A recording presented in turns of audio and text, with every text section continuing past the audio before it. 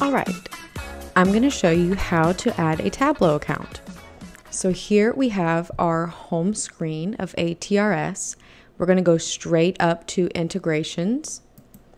This is where all your accounts are going to be held and we're going to click on Tableau. Now you're going to get all the information to create your Tableau account from your online Tableau account. This is where your credentials are going to be kept.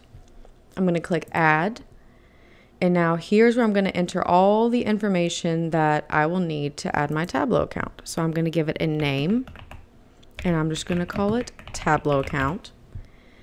And then I'm going to use the token pat authentication type. And then here is where I'm going to enter all the rest of my information. So I'm going to enter my server address.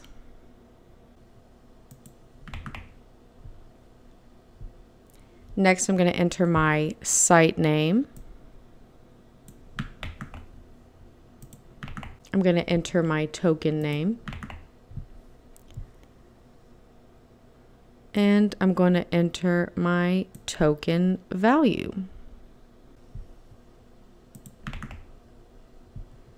And once all that is done, I have my API version as 3.6 and I'm going to click verify. And then I'm going to click save and close. And that is how you add your Tableau account.